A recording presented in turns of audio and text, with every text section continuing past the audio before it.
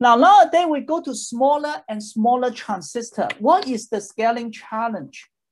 The problem is if I make the source and drain very close to each other, the gates cannot control it. What is a transistor? Transistor is that you control the channel current flow, flow through this gates, right? You turn it on and off. When we make the transistor smaller and smaller, it cannot control the region far away from it. And then you have a lot of leakage current. What's the problem of having leakage current? Power equal to CV squared times F plus I of times VDD. So even you are not switching, if you have a large I of, you have a lot of leakage power.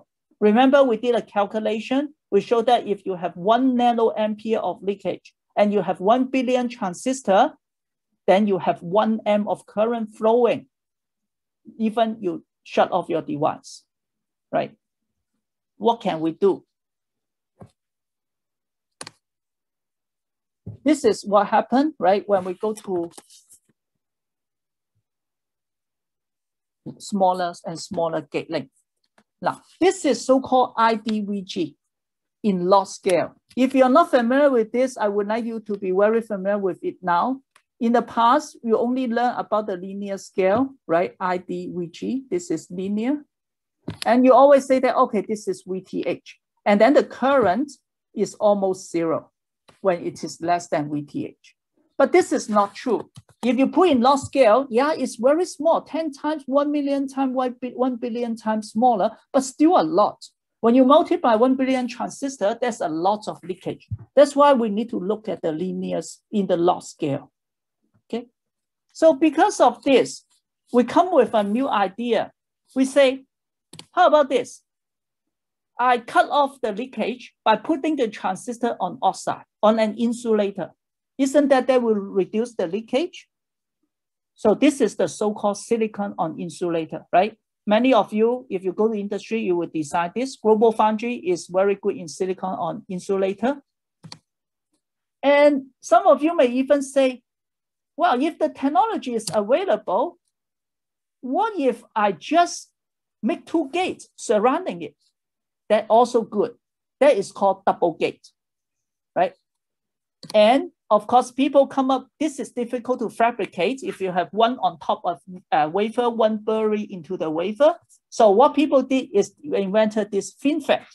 In FinFET, here is the source, here's the drain, and the gate is wrapping around. I think I asked you last time already, what's the difference between FinFET and nano and nanosheet, right?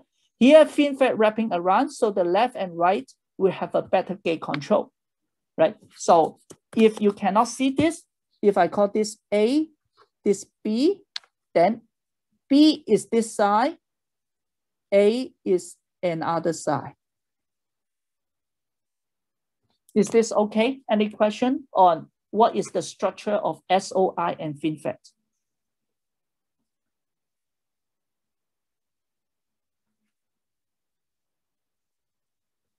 Right? If okay, let's quickly see how we make a FinFET. We start with silicon on insulator, and then with the silicon, uh, we start with silicon dioxide and then silicon. We pattern it, and this is the fin, and this is the so-called fin width. This is the fin height. Then what do we do? We deposit maybe polysilicon. Then we do CMP that I just told you. CMP is used very often in nowadays process, chemical mechanical polishing. It make it very even. And then you do lithography to pattern the gate, right? So this is the gate. The gate is surrounding it. And then we do source drain implant, implantation.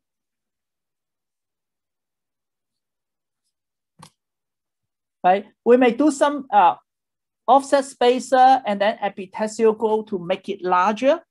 And then eventually you get a FinFET, right? So what is, how do we read this one? This is a very simple picture, right? So how do we uh, understand this structure?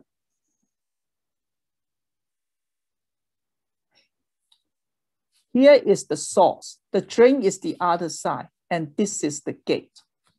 Here is the source. This is the gate. This is the drink. Here is the source. This is the gate. This is the drink. And that is a FinFET. You have the control from two sides. Is this clear? Any questions?